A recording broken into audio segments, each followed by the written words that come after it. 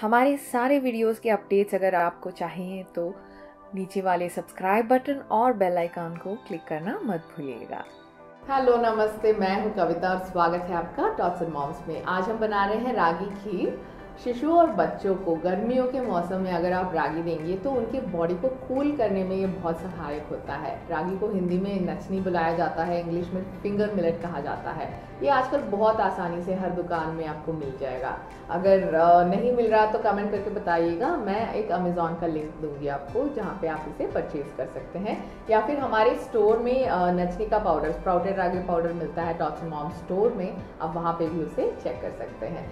रागी, खीर, मैंने बहुत सारे ड्राई फ्रूट्स इंक्लूड करके बनाया है तो बच्चों को बहुत ही पसंद आएगा। तो खीर चलिए देखते हैं इसे कैसे बनाया जाए।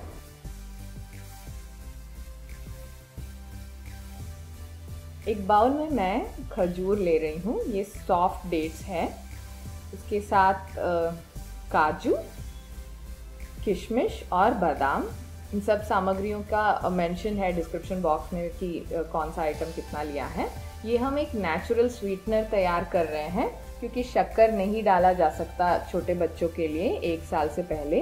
तो ये नेचुरल स्वीटनर की तरह काम करेगा। इसे गर्म पानी में भिगो के हमें 10 मिनट तक रखना है।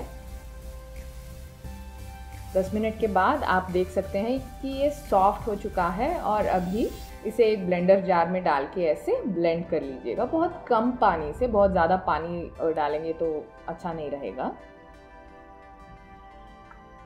अब एक कढ़ाई लेके उसमें घी डाल लीजिएगा थोड़ा सा बाद में कटे हुए बादाम। ये गार्निशिंग के लिए है। छोटे बच्चों को बेबी को अगर बना रहे हैं तो इस स्टेप को स्किप कर सकते हैं। बड़ों के लिए बच्चों के लिए बना रहे हैं, बड़े बच्चों के लिए तो इसे ऐड कर लीजिएगा क्योंकि बहुत अच्छा स्वाद देता है। और खीर के बीच में ये मिले तो स्वाद अलग ही बन जाता है। तो इसे फ्राई करके एक बाउल में बगल में रख लीजिएगा। बाद में उसी पैन में या उसी कढ़ाई में फिर से घी डालेंगे और थोड़ा। और ये नचनी या रागी का पाउडर है। हमारे स्टोर में घर में बना हुआ नचनी पाउडर या अंकुरित रागी पाउडर मिलता है, आप उसे चेक कर सकते हैं। इसे मीडियम फ्लेम में आपको ऐसे रोस्ट करते रहना है, जब तक इसका अच्छा सुगंध आ जाए और कलर भी ऐसे चेंज हो जाएगा, जैसे आपको दिख रहा है यहाँ पे। बाद में हम गर्म पानी डालेंगे थोड़ा थोड़ा करके ताकि यहाँ पे लम्स या गांठ ना बन जाए। और ये विस्क यूज़ करेंगे तो गांठ बनेगा नहीं। तो इससे ऐसे यूज़ करते रहिएगा मिक्स करते रहिएगा और कुक होने के बाद ये थोड़ा ऐसे दिखेगा आपको डार्क चॉकलेटी ब्राउन बाद में हम डालेंगे इसमें दूध। आप चाहें तो कोकोनट मिल्क यूज़ कर सकते हैं या बादाम मिल्क अभी इसमें डाल रही हूँ गुड़ का पाउडर आप चाहें तो गुड़ को थोड़े पीसेस बना के कूट कूट के भी डाल सकते हैं। बाद में इसे अच्छी तरह से मिक्स कर लीजिएगा। अभी जो प्यूरी हमने बनाई थी ड्राई फ्रूट्स की, उसे डाल रही हूँ मैं। डाल के अच्छी तरह से मिक्स करके ये फाइनल स्टेप है, जहाँ पे हम इसे अच्छी तरह से बॉईल करेंगे मीडियम फ्लेम में। तो अभी दिख रहा है कि ऑलमोस्ट रेडी हो चुका है।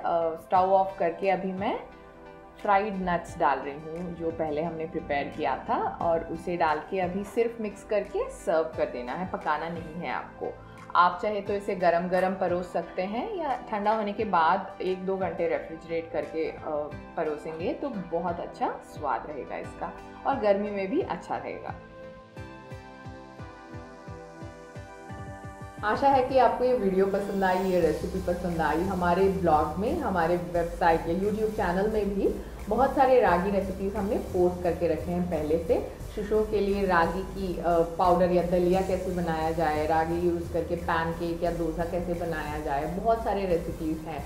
तो उनके डिटेल्स मैं अपने डिस्क्रिप्शन बॉक्स में दूँगी, आप चेक कर सकते हैं। और अगर आप पहली बार हमारे वीडियोस देख रहे हैं तो हमारे चैनल में बहुत सारे ऐसे वीडियोस हैं जो शिशुओं के लिए उपयुक्त हैं। और अगर आप बहुत सारी जानकारियाँ चाहते हैं, बच्चों को कैसे बड़े करने में जो भी उपयुक्त हैं, वैसी जानकारियाँ भी हमारे चैनल में हैं। तो सब्सक्राइब करना मत भूलिएगा हमारे चैनल को। और फिर से मिलते हैं अच्छे अगले वीडियो के साथ। तब तक के लिए शुक्रिया, नमस्कार और बाय